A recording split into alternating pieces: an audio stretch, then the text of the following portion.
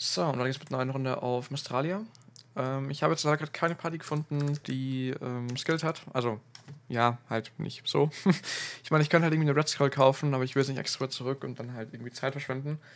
Deswegen würde ich sagen, ähm, ich mache ein bisschen der EAOE und das ist jetzt eh nicht so dramatisch, wie ich finde. Von dem her, genau. Jetzt muss ich mal nur schnell das F-Tool aktivieren. Achso, natürlich nicht auf dem Leader, das ist ein bisschen problematisch. Hier ist auch schon drin. Ja, natürlich was drin. Na gut, okay. Ähm, Self-Buffs haben wir. Ah, ah, nee, nee, nee, alles gut, alles gut. Ich wollte gerade sagen, wir brauchen noch einen Vitaltrink X, aber der ist ja eigentlich unnötig. Oh je, oh je, oh je. Oh shit, okay. Ja gut, also unser Schaden ist jetzt... Wir waren letztens bei den Mammuts, oder? Oder? Oder noch nicht? Fuck, ich weiß es halt gar nicht mehr. Okay, gut, aber noch einen Upcut. Ja. Ja, naja, naja, naja. Das geht schon, glaube ich. Ja, let's go. okay, 3,4k Damage. Wer braucht mehr? Oder ich soll vielleicht nicht so übertreiben. Oh shit, oh shit, oh shit, oh shit. Die machen aber gut Damage. Ähm, Action Slot. Warum habe ich nicht einen Action Slot draußen? Bin ich blöd? Ja gut, okay, wir haben auch noch Stun und so, das heißt, das sollte eigentlich schon einigermaßen irgendwie halbwegs funktionieren, glaube ich. Ja, komm, Skills, Skills sind für Noobs. Level 100, yay. Nice. Ähm, Ringmaster hat ein Pet. Ich habe immer noch kein Pet. Ja, ich weiß, ich weiß, ich weiß. Coming soon.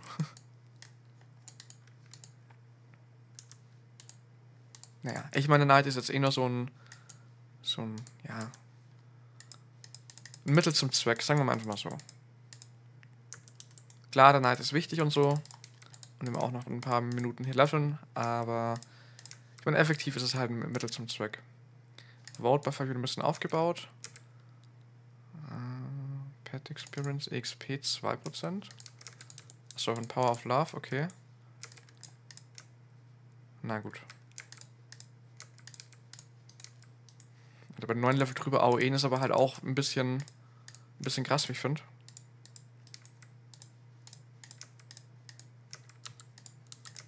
Hm.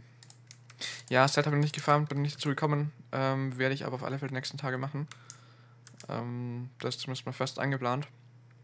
Also, wenn ich aber drop, wie gesagt, ich meine, ähm, läuft er jetzt nicht immer so gut beim äh, Set-Farmen hier. Es ist halt echt ein bisschen, ein bisschen tricky.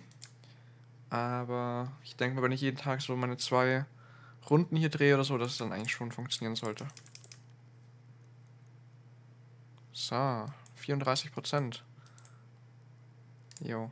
Also ich weiß noch, wir haben letztens, glaube ich, ein paar Mal ähm, bei den, also wir haben noch bei den, bei den Kings gelevelt. Und wir hatten, glaube ich, so 10% pro AOE ungefähr. Oder waren es 15? Ich weiß es nicht mehr genau. Also auf alle Fälle können wir uns schon glücklich schätzen, dass es hier so läuft, wie es läuft eigentlich. Also ich sage jetzt mal so ein Drittel Level. Naja gut, wir hatten glaube ich schon ein bisschen was. Wir müssen mal darauf achten, wie viel das wir generell pro Level kriegen. Äh, pro AOE meine ich. Bin mal gespannt. Alter, wir kritten. Warum kritten wir eigentlich? Haben wir 18% Kritrate. Okay. Ich weiß nicht, woher die Kritrate kommt, aber irgendwie haben wir welche. Kein Plan.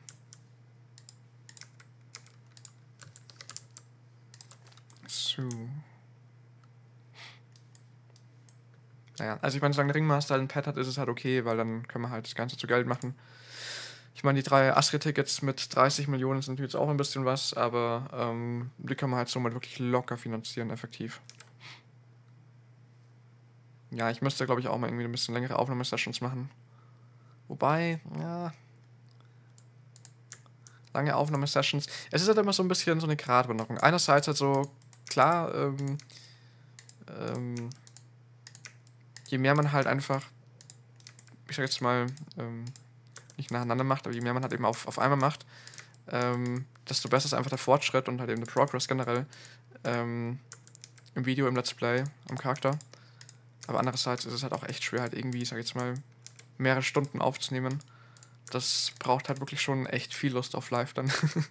und viel Lust zum Reden und, und viel, ähm, äh, ja, viel, viel Gesprächsstoff, sagen wir mal so.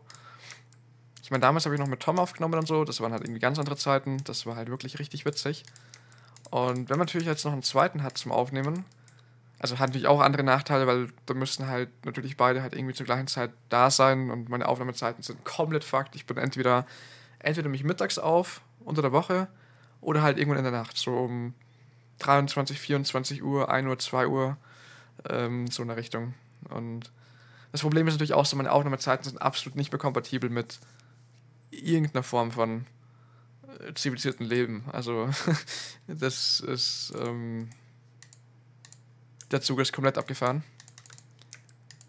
Und gut, ich meine, Tom macht das auch irgendwas anderes. Der ist, äh, habe ich glaube schon mal erzählt, der arbeitet als Wissenschaftler für Robotik oder so, keine Ahnung. Der baut irgendwelche, ja, ich sag mal so Art Unterwasserroboter für, boah, ich weiß es nicht mehr. Für irgendeinen Planeten, glaube ich, den die NASA äh, bereisen wollte, wo irgendwie Wasser ist. Frag mich jetzt nicht mehr, welcher das war. Also schon noch hier ähm, in unserem Sonnensystem, aber ähm, ich weiß nicht mehr, welcher das war. Und ja, ich habe auch, ich habe auch in der Schule zu wenig aufgepasst. Ich habe in der Schule nie aufgepasst. genau. Auf jeden Fall, der macht halt irgendwie richtig fancy Sachen und ähm, der natürlich für sowas wie Fly jetzt einfach keine Zeit mehr und auch keine Lust wahrscheinlich. Ähm, ja ich meine, die Ab Abenteuer, die wir hier erleben, irgendwie so, äh, irgendwie so bei Mammutzierleveln 30% machen, ähm, das erlebt er halt im Real Life. Nur, dass er halt in irgendwelche krassen Durchbrüche schafft oder so, wo halt andere vielleicht äh, lang dran gehangen sind oder so. Ich weiß es ja nicht, ich habe keinen Plan. Ich weiß nicht genau, was er macht und so, aber ja, mittlerweile. Ja. Der macht schon auf alle Fälle coole Sachen momentan. Hatte ich aber auch gar nicht so auf dem Schirm irgendwie so. Ich meine, generell, auch wenn man mal so drüber nachdenkt, so, er war, er war damals oft mal irgendwie im Video mit dabei, also im Prinzip eigentlich bei jedem Video. So gerade die, die alten Videos, die alten Fly-Videos. Und ich hab's, also so klar, er wurde halt in der Schule schon immer so als, als kleiner Einstellige bezeichnet und so. Aber ich dachte mir so, ja, das ist halt, das sagen halt, also, ich meine, jedes, jeder, jedes Elternteil oder jede Mutter sagt das so, ja, mein Sohn ist hochbegabt und so und sagt halt jede, sagt halt jede Mutter irgendwie, glaube ich. Ist, glaube ich, normal. Und ich dachte mir halt so, ja, das sagen die halt so in der Schule und so und erzählt halt so und keine Ahnung. Ich habe mir halt nicht so wirklich viel dabei gedacht und so. Und dann hatten wir irgendwie ein paar Jahre keinen Kontakt und dann kommt er halt so ins, in Discord so, ja, lass mal ein paar Runden irgendwie WOT zocken oder Warzone und so. Und dann erzählt halt so, ja, hier war ich übrigens und da bin ich gerade dabei und hier ist so ein Fernsehbericht, den die über mich gemacht haben und, oder über uns gemacht haben und so. Und ich denke mir so, what the fuck? Also da war ich ja echt, da war ich, da war ich echt ziemlich äh, geflasht. Ähm war, schon eine, war schon eine krasse Sache irgendwie. Oder ist eine krasse Sache generell, dass der einfach so weit gekommen ist. So, also ich muss sagen, ich weiß es schon, also ich würde schon mal behaupten, dass die Fly-Spieler generell eher viel Geld haben. Also geht es nicht ums Geld, sondern einfach darum, dass sie natürlich eben auch gute Jobs haben. Ähm, und ich kann mir schon vorstellen, dass viele, dass aus vielen was geworden ist. Nicht jeder ist so wie, wie ich, der halt irgendwie. Gott, jedes Mal, wenn ich so erzähle, wird es einfach blöder. Ähm, der halt irgendwie in der Abschlussprüfung daheim hockt und Fly zockt nicht jeder war wahrscheinlich so und auch nicht jeder, ähm, weiß nicht, hockt generell jetzt daheim äh, und ähm, zockt halt noch immer Fly 24-7. Das glaube ich halt zumindest eher mal nicht. Ähm, aber ja. Es gibt natürlich solche und solche. Ich weiß natürlich jetzt auch nicht, ob das jetzt irgendwie überdurchschnittlich viele sind, äh, die einen guten Job haben oder nicht. Aber ich würde halt mal so sagen, so gefühlt, gefühlsmäßig würde man sagen, die meisten haben eigentlich ganz gutes Geld zur Verfügung. Also ähm, die Menge an Donatoren, die halt wirklich, ich sag jetzt mal, über 100 Euro ausgeben für eine Flive-Season, ich meine nicht meine, meine Umfrage, die ich letztens gemacht habe, sondern ähm, von Seiten von, ich sage jetzt mal, eher Insider-Informationen, also halt, ähm, was eben andere, andere Admins halt so berichten, ähm, dass da halt eben schon auch Leute dabei sind, die halt gern, gut und gern über 100 Euro zahlen, donaten und halt teilweise auch gut und gern mal 1000 Euro donaten oder so. Also die gibt es auch. Und ich meine, klar, also mit, mit Birchie-Geld wird es, glaube ich, halt nichts. Und ähm, äh, ja, ich denke mal, dass da viele schon ein gutes Einkommen haben. Natürlich können einfach auch ähm, Scammer sein. ein indisches äh, Scam-Callcenter betreiben oder so. Nee, äh, können dann auch irgendwie, ich sag jetzt mal, einen relativ einfachen Job haben, sich halt einfach selbstständig gemacht haben und dadurch eben äh, gutes Geld verdienen. ähm, das machen halt viele. Aber ja. Nee, also ich denke mal, ich denke mal, dass es schon echt einige gibt, die einen guten Job haben. Ich meine, ich kann jetzt natürlich fragen, ich könnte auch eine um Umfrage mal machen dazu, wäre vielleicht auch mal interessant. Ja, man weiß halt nie, ob dann jeder halt so ehrlich halt antwortet, wenn ich, also wenn ich halt irgendwie so drei Optionen mache, was hast du für einen Job? Oder was hast du vier Optionen? Was hast du für einen Job? Gar keinen, äh, irgendwie so Mindestlohn, ähm, Mittelstand und ähm, weiß ich nicht, Millionär oder so. dann ähm, glaube ich, rollen halt einfach viele rein und sagen so, ja, hier habe schon mal zehn Lambos in der Garage und so. Das, ähm ja, ich denke nicht, dass ich da wirklich ähm, brauchbare Antworten kriege.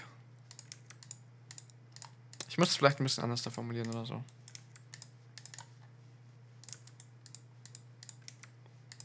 Yay, ein Frozen Giant Mammut. Woohoo.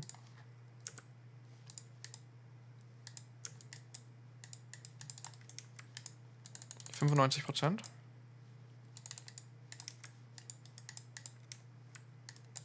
Nein, komm, komm, komm.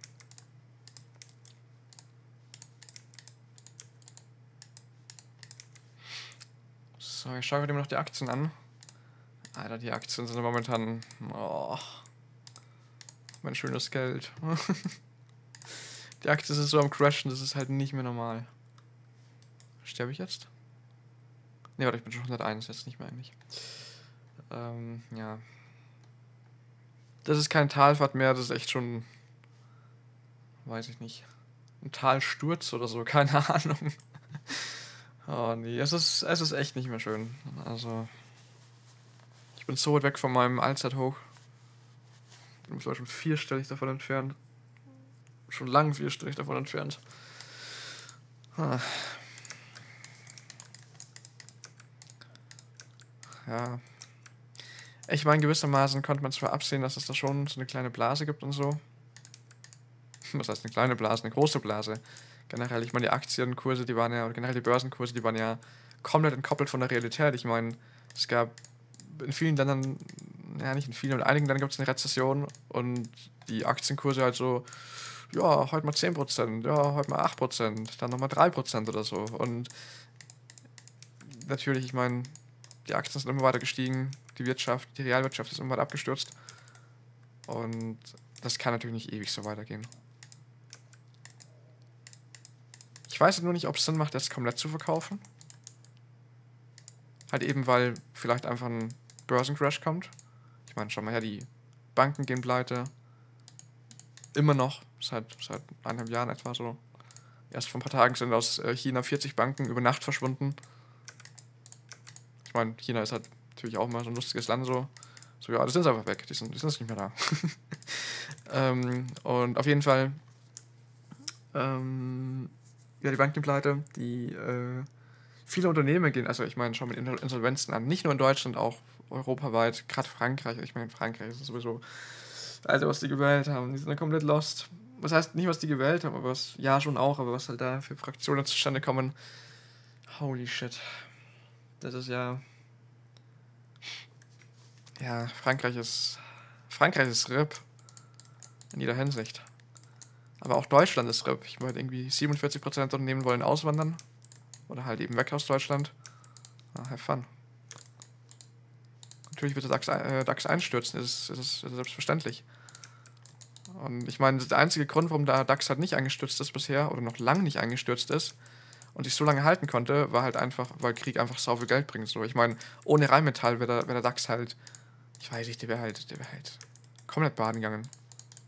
Ich glaube, Rheinmetall ist doch im DAX, oder? Die wollten mal einen DAX? Ich glaube, die müssten auch im DAX sein. Ich meine, sind doch mittlerweile locker, locker unter den 30, äh, Top 30 Unternehmen. Beziehungsweise wahrscheinlich sogar den Top 10, wenn nicht sogar Top 5 Unternehmen in Deutschland. Würde mich zumindest wundern, wenn nicht. Ähm ja, aber halt gerade die, die Kriegsbranche ist das Einzige, was Deutschland gefühlt einfach über Wasser hält. Und auch die Steuereinnahmen halt ähm, irgendwie ähm, gewährleistet. Ich meine, stell mal vor, Rheinmetall würde halt die letzten Monate halt einfach schon baden gehen. Oder wenn der Krieg jetzt einfach dann endet. Alter, dann. Holy fuck. Dann. Dann will ich da raus sein. Dann will ich erstens aus Rheinmetall raus sein. Dann will ich aber auch aus, aus allen deutschen Aktien raus sein. Und am besten auch aus Deutschland raus sein. Weil wenn die ganzen Aasgeier halt nicht äh, ihr Geld kriegen, dann. Also damit man jetzt halt, halt irgendwie. Was der Geil was, Lindner, Habeck und Co. Dann kommt es wieder, ah, wir kriegen zu wenig Geld, ah, Steuern rauf. Ah, Mehrwertsteuer, ah ja, 90% haben wir schon lange nicht mehr angefasst. War zwar auch damals nur äh, temporär von 16 auf 19 erhöht worden, aber ja, ähm, 23% ist doch besser als 19%, oder? ich meine, ich, ich call schon seit Ewigkeiten, es wird halt kommen. Es wird halt safe kommen. Und wenn die Steuernamen einbrechen, dann werden halt die Steuern erhöht. Also. Da warte ich eigentlich nur drauf. Ja.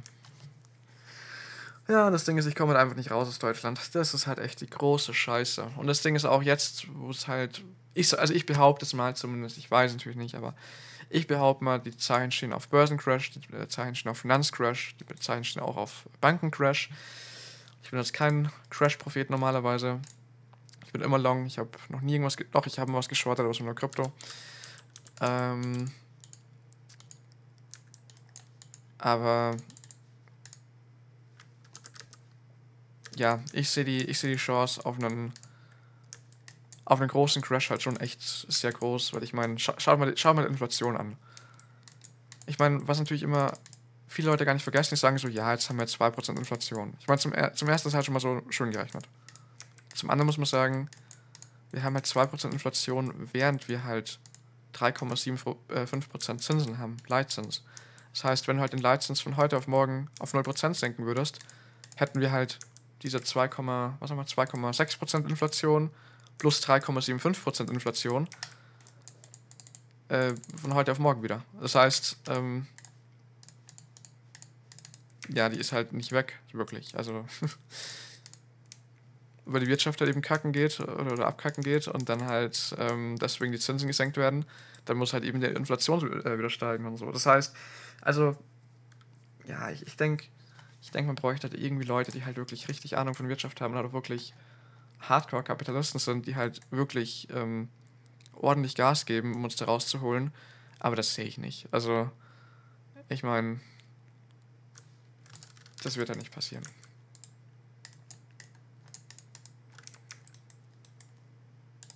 Ich könnte mir vorstellen, ja, die Folge wird gerade ein bisschen politisch vielleicht. Aber ich könnte mir vorstellen, bevor in Deutschland wirklich eine, eine wirtschaftsfreundliche Regierung kommt, und ich weiß nicht mal, wie die CDU damit reinzählen will, keine Ahnung, schwer zu sagen. Aber ich glaube, bevor das passiert, ähm, ist es fast sogar noch wahrscheinlicher, dass irgendwie so eine, so eine Mischung aus ähm, Rot, Rot, Rot, Grün kommt. Also ähm, Linke, Wagenknecht, äh, SPD und Grüne oder so. Selbst das halte ich noch wahrscheinlicher, als dass wirklich eine wirtschaftsfreundliche Regierung kommt. Aber ja, ich meine, selbst, selbst mit FDP ist es halt, ja, kannst halt, kannst es auch in eine Tonne äh, hauen einfach. Weil da kommt einfach nichts bei rum, was irgendwie Sinn ergibt. Aber ja, gut, ich meine, wenn man so überlegt, wirklich, wenn man nur so überlegt, BSW ist damals aus den sonstigen Parteien entsprungen. Damals gab es so 13, 14, 15 Prozent Wähler der sonstigen Parteien. mittlerweile gibt es BSW mit 7% und sonstige Parteien mit 13%. es zeigt einfach so, wie, wie, wie verzweifelt das auch einfach die Leute sind. So, die wollen eine Änderung, die wollen, dass sich was ändert. Aber, naja, effektiv. Ich meine, es ist vielleicht nicht ganz fair, BSW halt irgendwie als sonstige Partei zu werten, aber effektiv wählen halt 20% sonstige Parteien.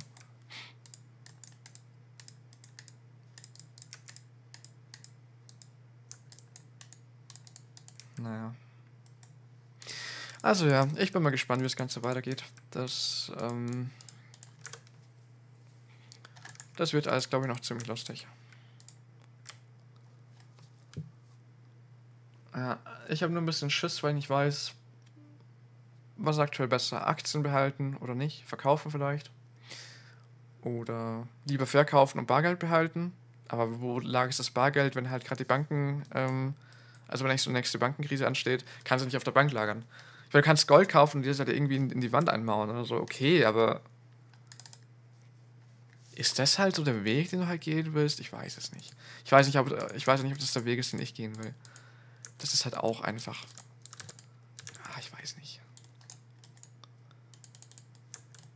Ich weiß es echt nicht. Na komm. Ich brauche echt mal eine Party mit Skills hier. Wait, hier ist eine.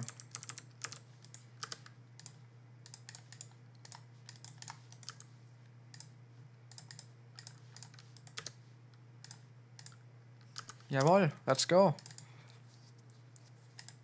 Nice, sehr gut. Was gibt es hier alles? Ähm, PvE. Learning Boost, 5% mehr XP. Ach, wie auf, auf äh, CW. Okay, das ist cool. Alter, wie viel Schaden das ich mache. Dieses doppelte Link da, was es da gibt. Ja, das doppelte Link ist echt krass. Das ist, ist glaube ich, das Link aus ähm, Fluff Universe. 10k AOE Damage. Das ist krass. Kurz was trinken.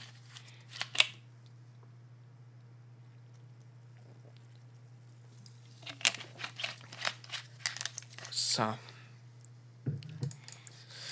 Gleich sind 105, dann könnte man auch mal endlich ein besseres Set tragen. Snyder Set wäre natürlich schon sehr geil.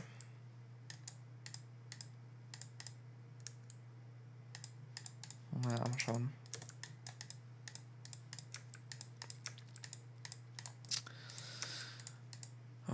Okay, 104. Wir haben bei 99, glaube ich, gestartet, oder? Genau, 5 Level-Ups haben wir schon gemacht.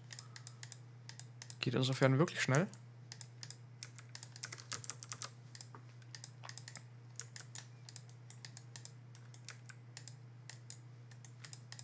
Es gibt einen Jagdressil-Stick und einen Knuckle. Also generell eine äh, Yggdrasil-Waffenserie. Äh, okay, wusste ich gar nicht. Bin ich mal sehr gespannt. Ähm ja, ich meine, gut, ist er noch, ist er noch sehr, sehr weit entfernt. Aber ja, mal schauen.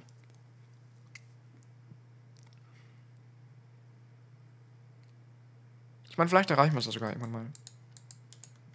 Aber kommt halt, ist halt, ist halt von so vielen Faktoren abhängig. Ähm, ja, nee, kann ich, kann ich jetzt nicht sagen. Vor allem, bei mir ist es momentan so, ich komme halt eigentlich gar nicht mehr so arg zum, zum Flive-Zocken.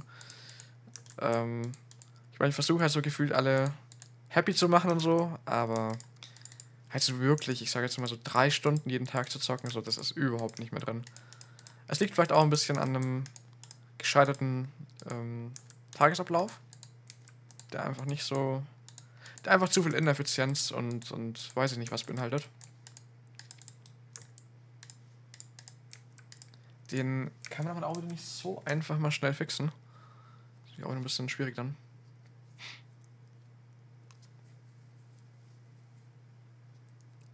So, 60%, nice.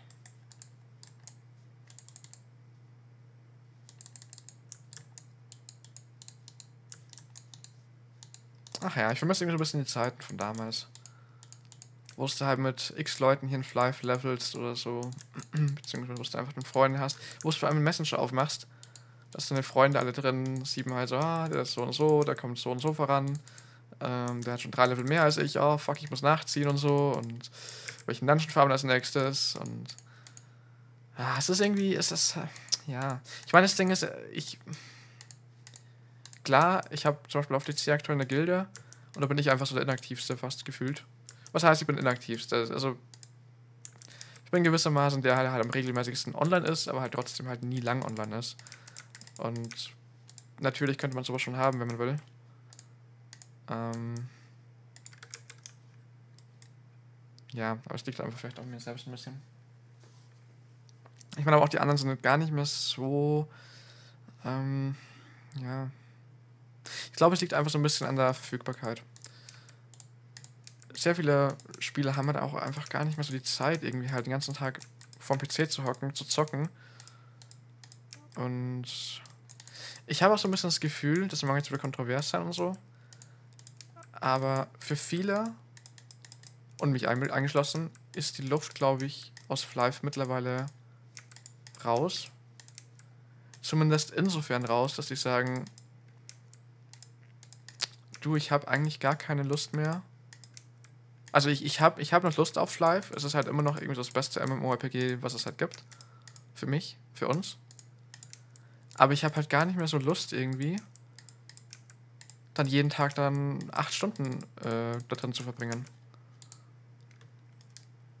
Und ich glaube schon, dass es halt irgendwie ein großer Faktor ist, der vielleicht auch ein bisschen unterschätzt wird.